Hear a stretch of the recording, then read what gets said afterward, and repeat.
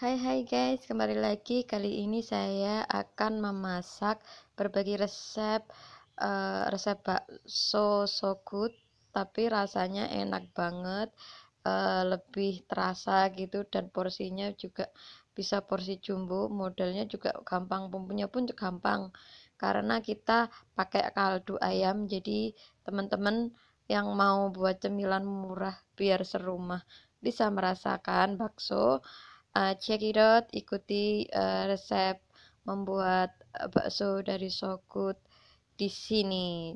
Jangan ke mana-mana ya langsung pantengin dan jangan lupa untuk like, comment, share, dan subscribe dulu sebelumnya. Let's go kita masak apa aja sih bahan-bahan yang diperlukan? Ini ternyata mudah banget dan rasanya enak. Yuk yuk yuk yuk yuk Bahan yang kita butuhkan bisa dilihat ini ada kemiri, bawang putih, bawang merah, garam. Kemudian saya akan mengambil memetik sayurnya dulu. Saya pakai sayur pokcoy kali ini yang ada di rumah. Pokcoynya juga udah mulai besar. Kita petik aja di kebun seperti ini nih. Jadi semuanya itu saya lebih senang kalau masak itu menggunakan bahan uh, tanaman organik sendiri guys seperti sekarang ini. Jadi aku suka kayak gitu daripada aku beli ke pasar atau apa selain menghemat juga rasa sayurnya itu lebih fresh lebih seger aja dan terjamin kesehatannya. Karena kan ini tidak pakai pupuk uh, pestisida atau pupuk semacam pabrikan gitu. Jadi ini semuanya murni organik guys. Seperti itu. Nah selain ini bahan yang selanjutnya adalah Nah, ini dia. Ini adalah ayam, ayam tulangnya. Ini saya keprekin semua tulang-tulangnya biar untuk kaldu enak. Nah, ini kita udah uh, apa ya, umep ya, udah mendidih airnya.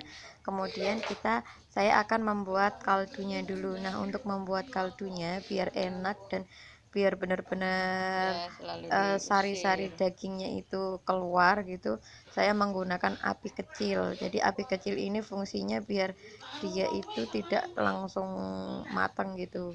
Kemudian saya masukkan bumbu yang tadi udah saya ulek yang semuanya berambang bawang itu saya ulek saya masukkan sini semuanya guys sama baksonya. Biarkan beberapa menit dulu Nah, bagian terakhir adalah memasukkan bumbu dari sogutnya. Dari di sogut itu ada bumbu bawaan, kita masukkan semuanya. Oke okay guys, dan ini udah matang. Baksonya rasanya endes banget. Ini hanya kuahnya. Nanti sayurnya aku akan pakai uh. Lihatlah ini baksonya guys. Baksonya.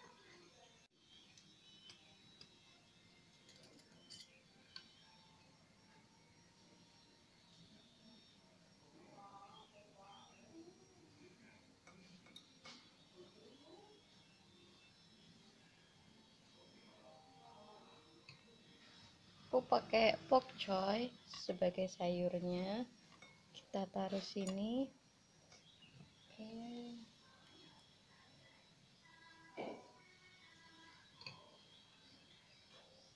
Dibanyakin sayurnya guys.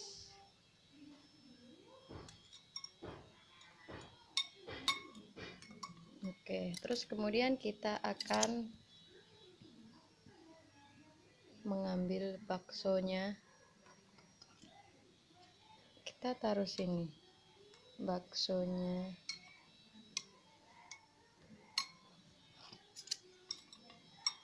Aromanya enak banget guys. Ini aku potong dua biar banyak orang serumah dapat.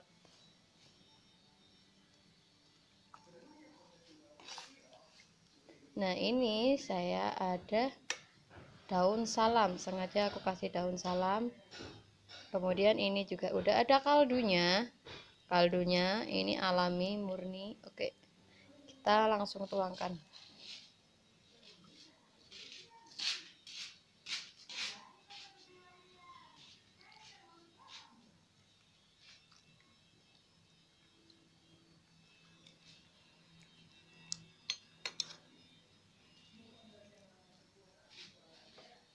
Tarang! sudah jadi kita taruh ini hmm. Kemudian sama ini. Dan selamat makan. Selamat mencoba. Oke okay guys kita akan coba rasanya. Kita akan makan.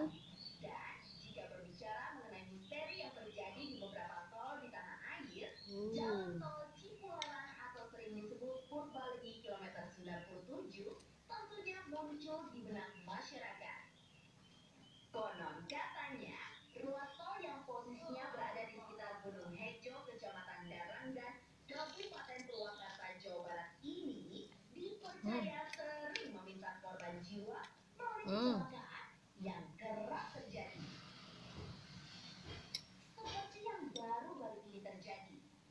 Rasanya enak guys, gurih. Kaldunya juga terasa. Sebenarnya di sana itu masih ada namanya daging ayamnya. Aku lupa mau ngambil aku mau ngambil dulu guys. Dan jangan lupa untuk like comment share dan subscribe nya